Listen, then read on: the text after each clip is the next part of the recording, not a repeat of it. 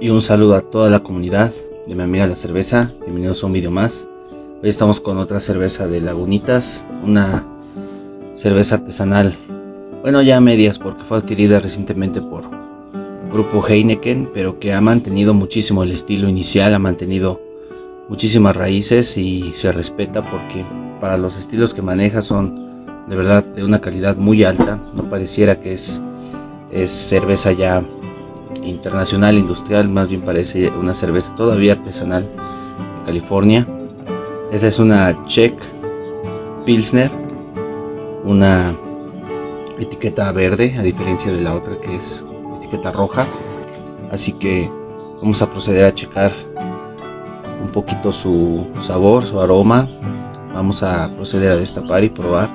Esperemos que tenga la misma calidad de la IPA, la cual sorprendió muchísimo. Así que vamos a proceder a destapar y probar.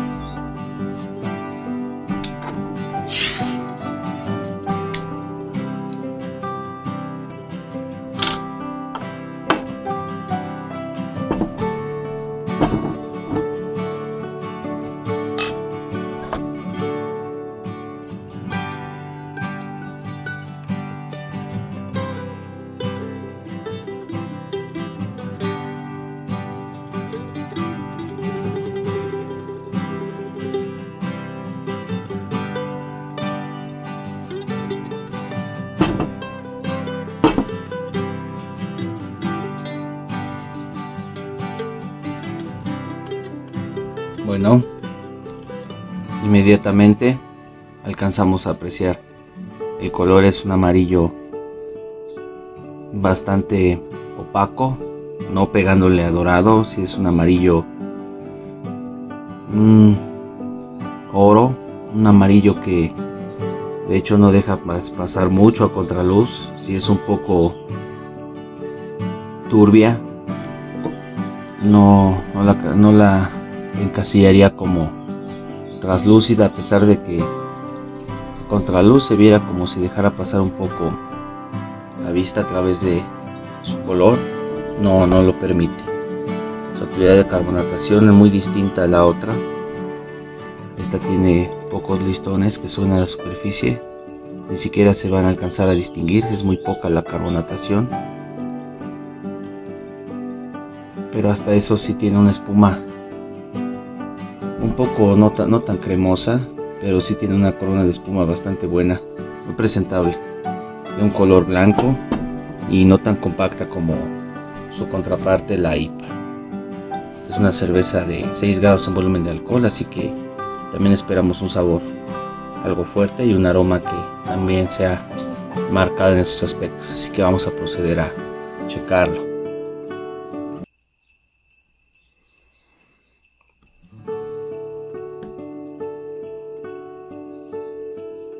Si es lo que se espera en el estilo. Lo que es un toque floral un toque un poquitito cítrico. Mm, la levadura lager un poquito de maltas dulces.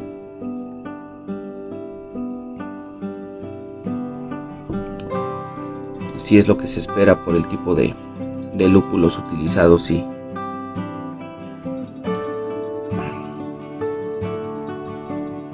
lo que se alcanza a percibir más un toque como de flores por el, lúpulo.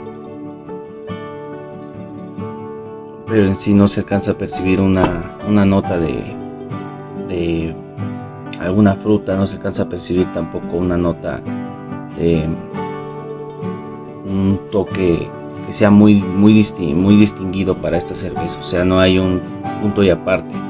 Es un aroma que sí es presente pero no es característico lo cual deja un poquito a desear.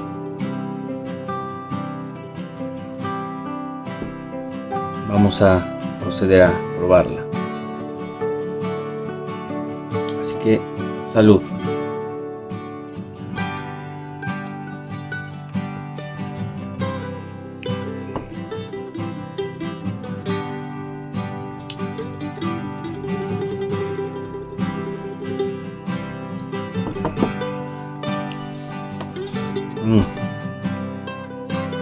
Si se, sienten los 6 grados.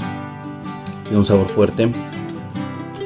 Destacando como un sabor algo de cereal. Un sabor sencillo. Pareciera tal vez confundir con el de una IPA, pero no contiene los toques necesarios como una tal. Pero en el grado de alcohol se siente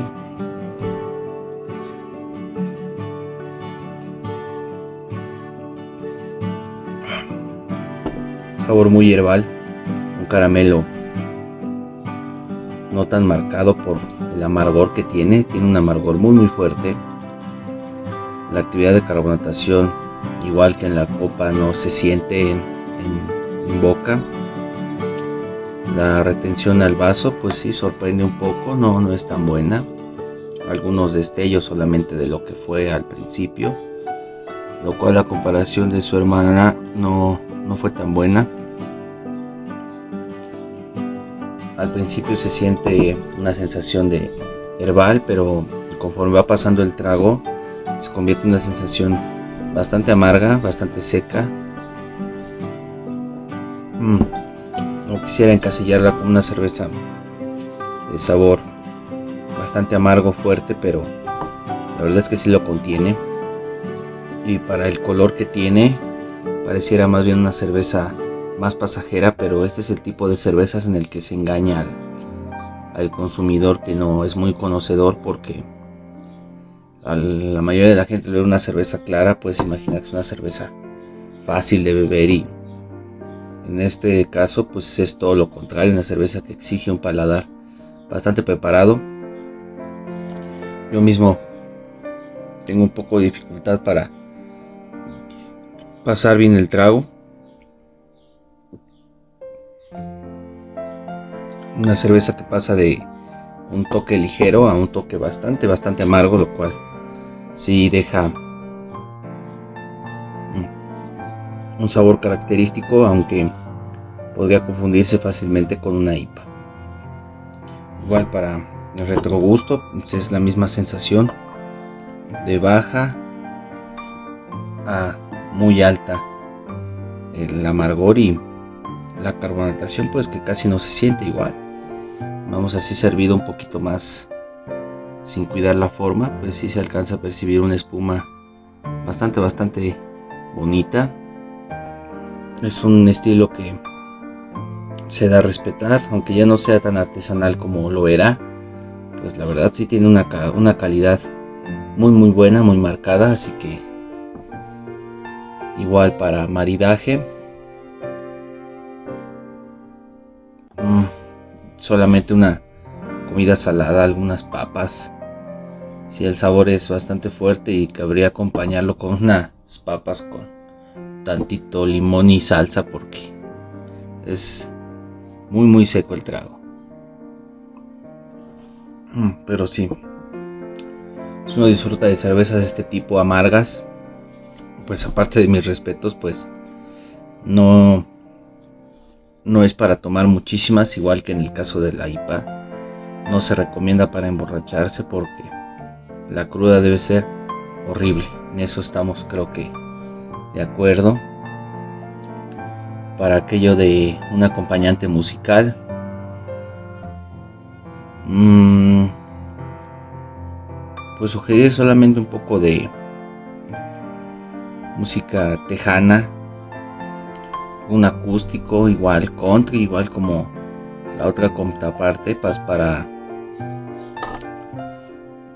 un poco de música de la que se toca ya en esos lados para estar un poco en ambiente no no quisiera recomendar algo más de de América Latina pues por la región de donde es pero tampoco algo muy marcado estadounidense como rock and roll pues no. Solamente ya de calificación solamente por el hecho de no tener una nota bastante bastante característica como para decir sabes que es al momento de del aroma decir sabes que es este tipo de cerveza o tiene este aroma muy marcado solamente por esa falta de, de identidad.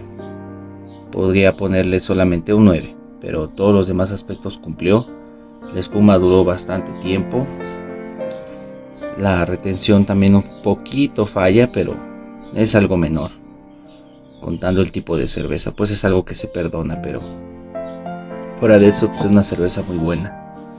Se respeta muy bien el estilo, tiene buen sabor, muy completa y pues sin más, recordarles que si aún no lo han hecho, se suscriban al canal, nos apoyen dejando su manita arriba y un comentario que aporte contenido de valor, ya lo saben. Así que sin más, nos vemos en un próximo video.